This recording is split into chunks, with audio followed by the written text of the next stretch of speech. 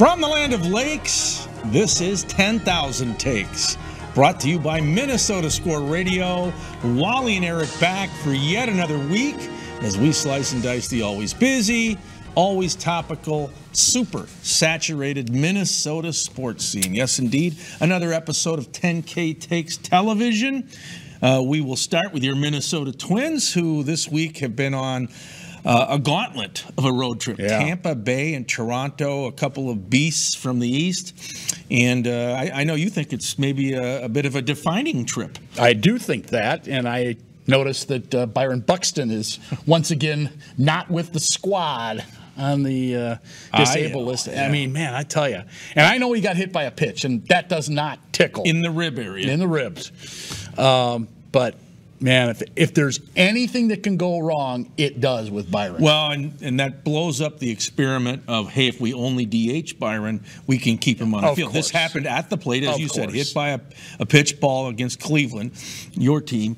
And Sorry. So I, I say put him out in center field. I, I just, I you can't be timid and you can't be walking on hot coals all your life. You just got to live. Speaking of hot coals, do you think that Derek Falvey and Thad Levine are on hot coals for trading Luis Arraez away? My goodness, the guy is going to be chasing Ted Williams here. He might hit 400. He's right there. Yeah, this is really remarkable what Luis Arraez is doing. Now, they knew they were dealing away the reigning AL batting champion. Now, his average last year was what, 317? It wasn't that Right. high. He nudged out Aaron Judge, cost him the Triple Crown. But he's been scorching hot. He He's Miami Heat, with apologies to Jimmy Butler and the basketball team. Right. He, they can't cool the guy off. And if he flirts with 400, does not look good for the Twins. Bad optics. Yeah, it's going to go down as maybe one of the top 10 bad moves in Minnesota sports history. Yes. Why don't we revisit that right now? Yes, we're calling it Minnesota Sports Goofs. You and I did some extensive preparation and research. It was hard to whittle down this list to Oh, 10 or 11. Yeah. So we're going to probably miss a few, but we'll start by, uh, you know, just ping ponging our, uh, our ideas back and forth. You can go first. Well, this one is the easiest one of all time. It's the worst trade, maybe in sports history. Look it up, Google it if you don't believe me. A lot of writers and pundits think that's the case. Of course, I'm talking about the trade of Herschel Walker back in 1989 from the Dallas Cowboys to the Minnesota Vikings, and they gave up a boatload of draft picks that turned the Dallas Cowboys into world champions a handful of yeah, times. three rings. Three rings. Dallas, A three-ring that trade. circus, if you will. Eh, No doubt about it. Well, that's high on my list. Yeah. But number one for me, uh, the Minnesota Vikings moving into the Metrodome. It's number two on my then list. so- going to U.S. Bank Stadium. Yeah. They had a chance to get it right and go back into the elements. Instead, they go to another dome. I just think it ruined the mystique of the franchise. They haven't been back to a Super Bowl since, and they aren't the same franchise in my eyes. They're just not the same when they're inside. Yeah. Um, well, since I had Herschel so close to the top, I think that the new Herschel Walker trade belongs there as well, and that would be the trade for Rudy Gobert uh, from Minnesota, from Utah to Minnesota for a handful of players and a boatload of draft picks. I mean, fool me once, shame on you. Fool me twice, shame on me. Yeah, no doubt. Uh, the Rudy G. Uh, trade has the potential to be maybe even worse than Herschel Walker. We'll see. Time will tell. But it was a blockbuster that last year netted very little dividends for the Minnesota Timberwolves, and I have that on my list as well. In fact, I have a number of Timberwolf goofs that I've uh, singled out. You know, bypassing Steph Curry in the draft. Yeah. The Joe Smith fiasco. That's on my It- It, crippled the team for five years. Jimmy Butler not figuring that out after making a big deal and all the hype and hoopla about bringing him here. So the T Wolves, boy, there's a lot of ammunition there. I'll, I'll throw two more in on the Timberwolves since we're talking Timberwolves. Trading Kevin Garnett to the Celtics. Yeah. That just never panned out. And of course, KG went on to win a, a, a NBA title with the Celtics. I believe that was 2007. He won the NBA title. And then one more uh, Timberwolves one the firing of Dwane Casey when he had the club at 500, and they never went beyond 500 again until, well, I believe it was when Thibs Got Yes. him over the hump and got him into the playoffs. That was a, a dumb decision by the Minnesota Timberwolves. Uh, well, I'll throw some out at you. How about the Minnesota Gophers failing back in the late 1980s to put a Notre Dame out clause in Lou Holtz's contract? In other words, you're stuck here in Minneapolis. You can't go to Notre Yeah, Dame. But one. they gave him the out, and really, since then, can you remember Gopher football garnering that much enthusiasm? no, no, no, not a, And not Lou Holtz had him on a Rose Bowl track. Not even close. Um, I'm going to go back to baseball. Uh, the Rod Carew trade to the Angels. I, that was devastating. If you were in the Twin Cities back then, and then he went on to win a batting Yeah. title or two there, and and had a you know a great finish to his career with the Angels. But that was devastating when Calvin traded him. catastrophic and it was self-inflicted calvin made unfortunate comments at a speech in Waseca they were racial by nature they took his statue down because of it now rod carew made up with calvin he, they were good at the end but that's the reason he wanted to go to orange county and i'll throw in david ortiz the minnesota twins say david we don't need you boston picks him up he's taking bp at fenway and he's trying to spray the ball all over the park and the red sox says what are you doing and the twins uh, apparently told david hey hit to all fields Oh, and the boy. red sox said no just hit it over that wall Yeah. and he went to the hall of fame One more Twins goof that I'm going to throw at you. Okay. They should not have fired Paul Molitor. I'm not saying Rocco is doing a bad job, but I think Paul Molitor was a good manager that they just gave up on way too quickly. Can i throw another twins one in there? why not? Not giving Torii Hunter the five-year Oh, contract he wanted. He, they only offered three for forty-five million. The, the compensation was good. The length wasn't. Torrey went to the Angels. The Twins regretted that move so much they brought him back. yes, they did. Uh, there are plenty more, and we'll do this again by and. I have one more quick one All to right. duck in. The Minnesota North Stars should have left their name and colors here, so the Wild could have been the North Stars Oh, yeah. and had those colors. And now, now we got that dopey name and dopey logo. All right, a lot more coming up. We're going to throw some punches with Caleb Truax here on 10K Takes, your Minnesota sports goof ticket. I've been meaning to give you these for many years. I think they're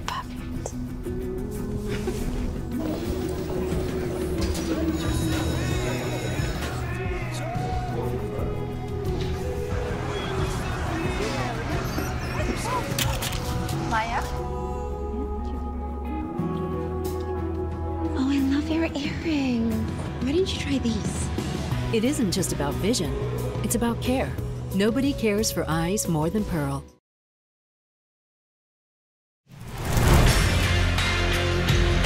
Ten thousand takes rolls along. Time to talk some boxing, and our friend and my former broadcasting partner, Caleb Truax, is going to climb back into the ring, and he joins us now. Caleb, uh, at the age of 39, after two years plus off from being in the ring, um, what motivates you to climb back between the ropes uh, later on this month? Well, I still love boxing, and uh, even though I've been off for two years or two and a half years, I, I've been training every day, and I had a few fights uh, fall through in that time. I was supposed to go over to Germany a couple times, and that uh, COVID put a nix on that, and and thought I was going to be fighting a while back at the Armory, and uh, just haven't been able to get anything scheduled. I never uh, retired or anything like that. I just was uh, unable to to book a fight. So here we are, uh, two and a half years later, and uh, I'm ready to roll. What do you know about your opponent, Burley Brooks out of Dallas?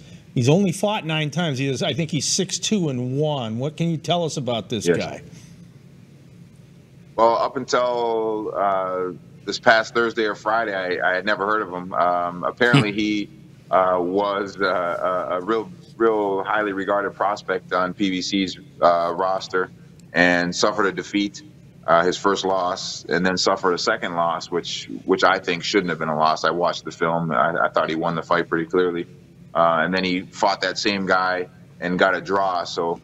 Uh, there's some video of him out here, uh, out there. He's pretty, pretty long, pretty lanky, younger than me. Obviously, everybody's going to be younger than me, so, so they, they all got that advantage on me. But uh, uh, obviously, not as experienced. He's only got nine fights. He's never fought anyone the caliber that that uh, I'm at, and uh, I'll have to use those things to my advantage. You know, just uh, experience and uh, and the, the strength of competition that I fought.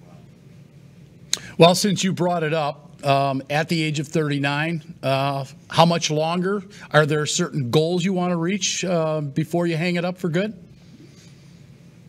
Uh, yeah, I'd, I'd, love to fight for a title again. You know, obviously this is the first step in, in making one last run. Uh, I got to get past Burley Brooks, and I'm not looking past him. Uh, I need to, to take care of business on the 24th and, and get the job done and do so impressively just to, to let everyone know that I still have it. And uh, I'd like to uh, bring a big fight back to the Armory. Um, you know, I, have made it pretty clear that I want to finish my career uh, here in Minnesota in front of my fans and uh, at the Armory and the beautiful venue that it is. And I just uh, want to go out on a high note, go out with a bang. And you know, I, I, I realize I don't have very very much time left in boxing, uh, a few fights maybe, and it's a young man's sport. But uh, I want to go out on my terms and and uh, want to finish it up here at home. So you're part of a card that will take place on June 24th, as you said, at the Armory, downtown Minneapolis. It's gained a great reputation as a boxing venue. Your third fight at the Armory, what does that mean to you to to be there, you know, battling Burley Brooks, but also over the years you've helped put this uh, arena on the map? Yeah, it's. Uh, I think it's one of the premier boxing venues in the in the whole country if not the premier venue uh, in the country uh, as far as uh, size goes. Um, you know, that, that mid level, it's not a big arena, it's more intimate, great sight lines. just a fantastic place to fight. The, the crowds are, have been fantastic lately. you know, we're going to pack the place again on June 24th. And just, I just love fighting at home. You know, a lot of guys uh, say that they don't like fighting at home because there's more pressure, more distractions. I love it. Uh, you know, most of my fights have been here in Minnesota.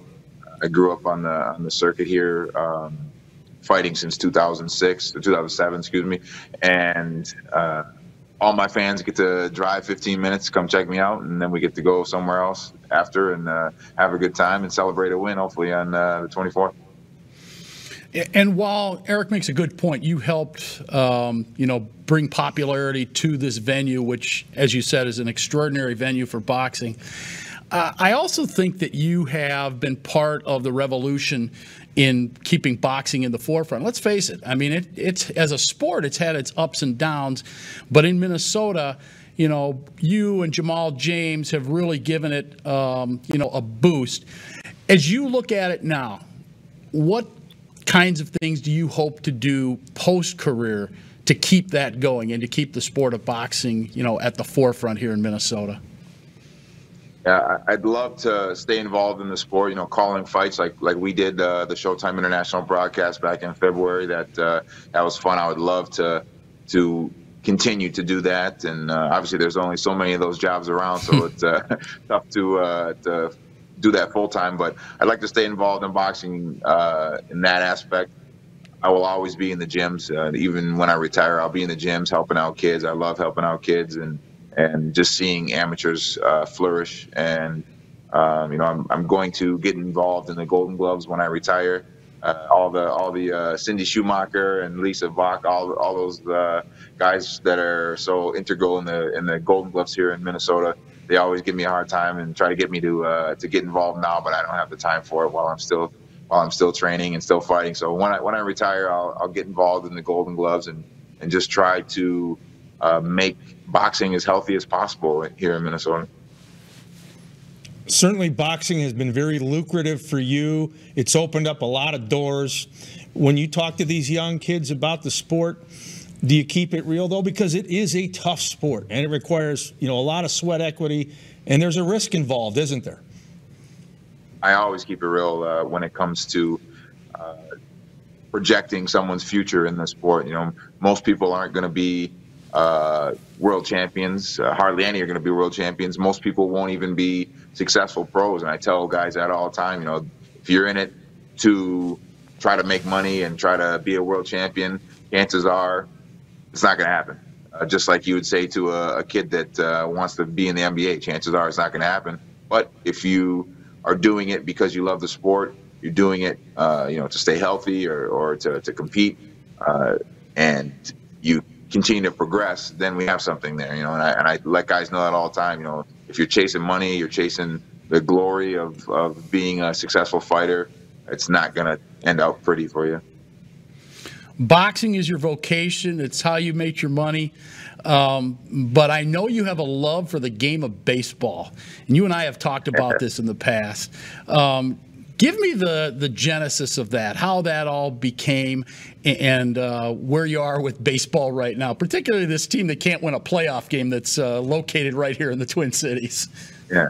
Well, we're, we're, right before we got on, I saw placed on uh, the injured list again, so we don't want to talk about that right now. but uh, uh, no, I love baseball. I, I, tell everybody it's still my, my favorite sport, and I tell my coach Tom Halstead all the time if, if I would have had a coach that was as good as him and knowledgeable as him in baseball, I'd probably have been playing pro baseball instead of uh, instead of boxing. But uh, I uh, first sport I learned how to play when I was young was golf because my my family uh, were all golfers. My mom was a great golfer.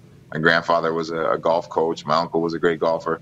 But I learned how to play golf first, and then came baseball, and uh, it's just been a love of mine since uh, since I was a young kid. And Kirby Puckett was my my hero growing up, and and you know I've been to hundreds of Twins games over the years. Back when it was affordable, you could get in the upper deck right field and uh, for five right. bucks back in the day. but uh, um, no, I, I just love the sport. I, I, I, listen to it on the radio or else watch the Twins pretty much every night during the summer. I, I've trying to trying to get my boy uh, Cam to, uh, to to pick up the sport, although he, he, he would just rather fight dinosaurs and and uh, have battles with King Kong or Godzilla right now, but uh, we're working on hitting, hitting off a tee this summer. if you were to pick a current member of the Minnesota Twins and put them in the ring Uh-oh. and say, okay, this is one guy I could see making that transition to boxing. Is there anybody on that roster you'd choose? Oh man, um, well Buxton is Buxton's uh, like a ultra athlete, but uh, he gets hurt too much, so I don't think he can really? handle the the uh, the rigors of boxing. Um, let me see. Uh, um, Royce Lewis. he's an athlete, yeah, he's an athlete, but he gets hurt all the time too. Although he did, he took that, he took that, he took that tumble uh, a couple nights ago pretty well. So he's got a good, he's got a good chin on him. He busted his face right on the ground and popped right back up and didn't get hurt. So. Um, me let me think. I would I would have said uh, Miguel Sano. He'd have been a big heavyweight, but uh, he's not with the Twins anymore. Wow. And uh, I'm not sure. Yeah, I'm not sure. I've never thought about that before. Boy, that'd have to be a super heavyweight division if Miguel was in there. yeah, yeah. well, Caleb, we appreciate you spending some time with us. Good luck on the 24th, and uh, hopefully we'll have another one of these discussions in the not too distant future. Yeah, thanks. Before I leave, I got to get my boy Tito Trinidad in the picture here. Tito Trinidad was my favorite, my favorite fighter, and this is my puppy. He's uh, a purebred bull terrier, and he's been breathing. That's not me breathing heavy. I'm in good shape for my fight. So if you've been hearing the breathing, it's him. Perfect. Awesome. Getting ready for a target spot. All right. Thanks, yeah, Caleb. That's right. Thanks, guys. All right, he is Caleb Truax, the former super middleweight champion of the world, right here on 10,000 Takes. Stay with us. We're back with more after this. I've been meaning to give you these for many years. I think they're perfect.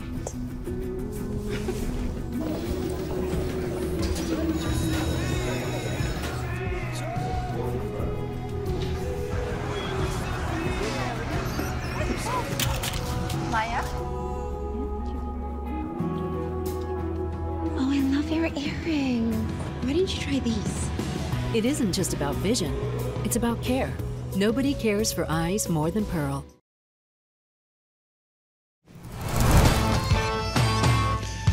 And we continue along here on 10,000 Takes. As you know, I spent some time in uh, West Africa uh, in mid May as I'm part of a a uh, operation trying to get baseball and a field in particular mm-hmm. done in Benin, West Africa. Um, so I wanted to give uh, folks who watch our show a little closer look at what we're doing there and how we are coming very, very close now to building the very first baseball field in that small West African nation. Daily life in this small West African nation looks a lot like this. Locals selling their wares out in front of makeshift storefronts that double as their home. And for many of the kids who are playing baseball, they have to navigate these busy streets by foot, some of them taking up to two hours to walk to and from practice. There are no actual baseball fields in Benin, but there are plenty of baseball players. Upwards of 200 players by last count, many of whom are now practicing and playing on this ad hoc schoolyard surface that is mostly used for soccer. Our trip to Benin in mid May was to find a spot where we could put up a backstop or two and create something that resembles an actual baseball field. Well, it's been at least seven years since the effort to put a real baseball field here in Benin has been going on. Now, with a lot of work and a lot of extra effort, it looks like that dream will finally come true. Besides the usual red tape of getting permission to work on this property and build a field here, there are people in difficult circumstances who live in the adjoining neighborhood. So when it rains too much, all this neighborhood is flooded. So when uh, the, the water goes up, then all this neighborhood is flooded. So it's basically It's underwater. underwater. It's I mean- underwater. I mean, you can see the water now. Now you see, you, as, like you can see, just right now, this neighborhood you see right here, they are really poor. Nobody cares about them. So will be baseball will be the opportunity for them to go to school. Yeah. Very poor neighborhood. Yeah. Very very poor neighborhood. Nobody cares about them. But despite being on the edge of a struggling neighborhood and not having an ideal surface to play on, this schoolyard slash soccer field is now scheduled to soon become this country's very first baseball field. I think that if you have a good baseball field here, uh, it can help us to play more, to play more game and have to experience uh, how to play in real baseball field, and that after we can compete in other field without problem. So we theoretically, instead of having these kids play soccer, if we were upgrading it, we could have them playing baseball, right? Yeah, that the kids living uh, in the neighborhood that can come over here. If, for example, we put up a backstop there, they're going to be interested in the game and they're going to come out. They, they want to know more about the game and they're going to sign up for the team and they're going to play baseball.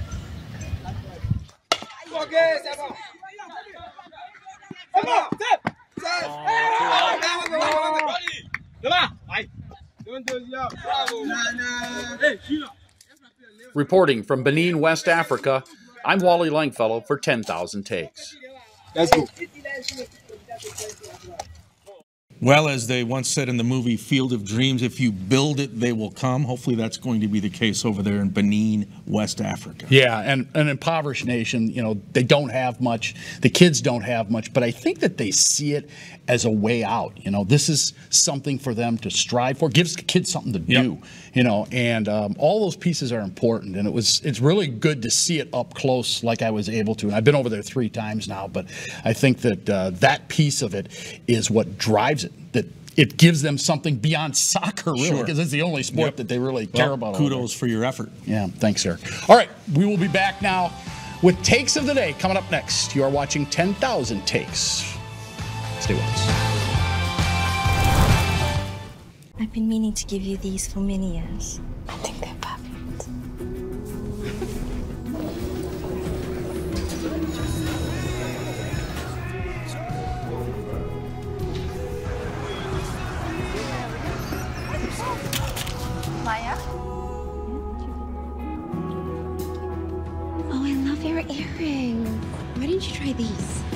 It isn't just about vision, it's about care. Nobody cares for eyes more than Pearle.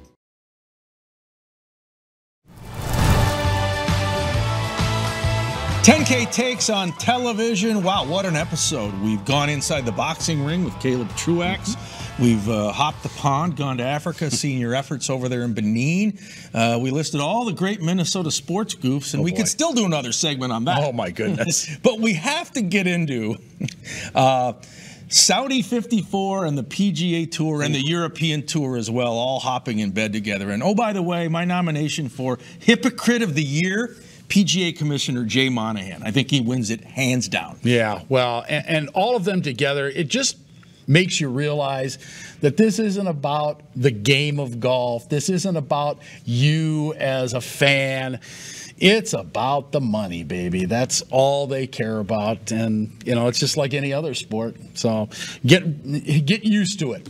Um, but I will say this: I think that this may have a positive effect for the 3M tournament, which of course is played here in the Twin Cities on an annual basis, um, because with LIV and the fact that the 3M is right after the British Open, you know, they've struggled to get some of the big names to come to Minnesota to play in the tournament. So hopefully this will you know, counter that, and they'll have some more big names like a Brooks Koepka maybe come and play. Not this year. That's not going to happen this year, but I'd say next year might be a boost. Could be. Uh, this story certainly was a tsunami earlier in the week. I mean, it just garnered a ton of attention. And one thing I, I did read, Jack Nicklaus who actually thinks this is good for golf. He says whatever's good for the sport, I'm in favor of. But apparently, Saudi 54 offered him a hundred million. Wow. To make that pivot, and he said, "No, I can't leave the tour. I started the PGA Tour, so at least the Golden Bear stuck to his guns, as did Tiger Woods." Yeah. Well, yeah. Tiger never left. No. Tiger never left. Okay.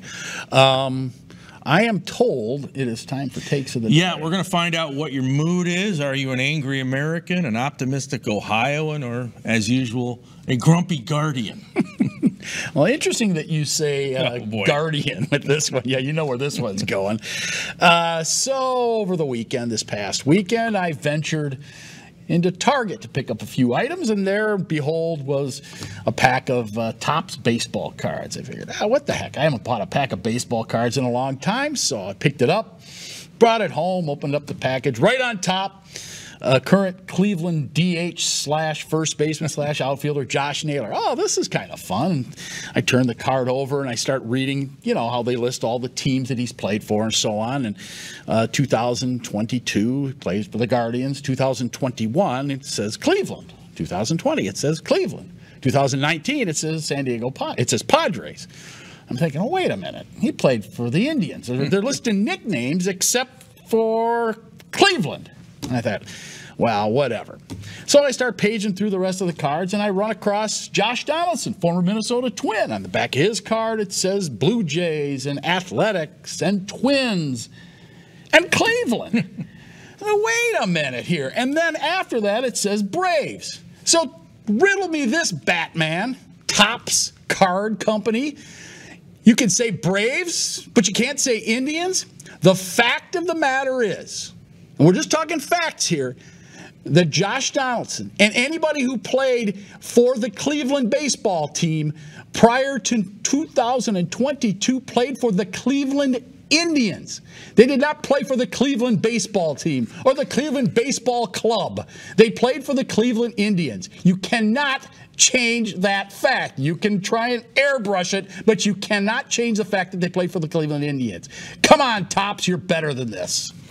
And the mood meter says Grumpy Guardian. Not grump, not and, grumpy Cleveland baseball club. No, and uh, if I could add something, you, you, are now the anti woke warrior. you should move to Florida. Oh, He's boy. on a rant, folks. All right. All right well, I will uh, go on my own rant. Okay. Earlier uh, in the week, the Buffalo Bills broke ground for their new $1.54 billion stadium that will open up in a few years. It's long overdue. The Bills uh, need a new playpen. They're going to get one. But here's the great news they're staying in the NF elements. No roof, no retractable roof, open air.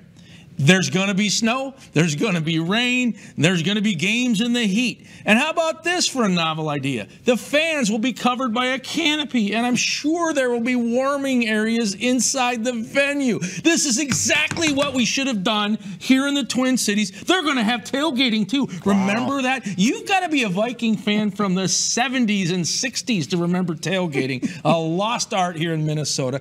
Buffalo did it right. The commissioner, Roger Goodell, grew up near Buffalo. I hope he gives that city a Super Bowl. They deserve it, and I'm so happy they're going to be playing those snow games in Buffalo. Wow, you're a Roger Goodell fan now. Not really, but if he brings one to Buffalo, maybe I will be. And on that note, let's FedEx out our thank yous. Alex Yambrick, David Weld, Caleb Truax. For Wally, I'm Eric saying so long. This is 10K Takes, your sports ticket.